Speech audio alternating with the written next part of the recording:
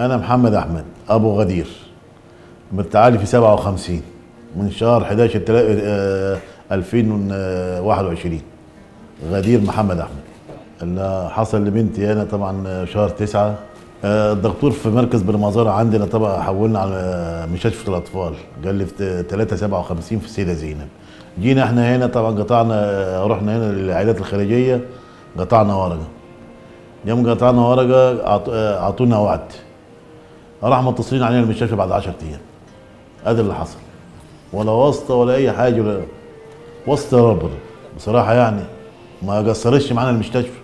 يعني قاعدين بصراحة سنه طبعا آه، إنه نيجي هنا مثلا يدينا مواعيد نيجي نكشف ويعملوا لنا اشعاعات حتى حولوا لنا اشعاعات بره ما دفعناش برضه على حساب المستشفى. الدكاترة بصراحة واللي فيها والله 100 100 متعاملنا معاملة حلوة يعني. ما في أي حاجة. من أنا دي سنه هنا. اديني سنه من زي مش- يعني بصراحة متابعه متابعة 100 100 وغيتانة.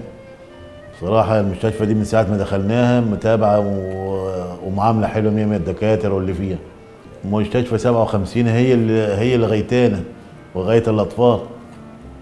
يعني كنا نروح فيها إحنا الناس الفقيرة اللي زي حالاتنا إحنا من الناس. طيب لمين حنروح؟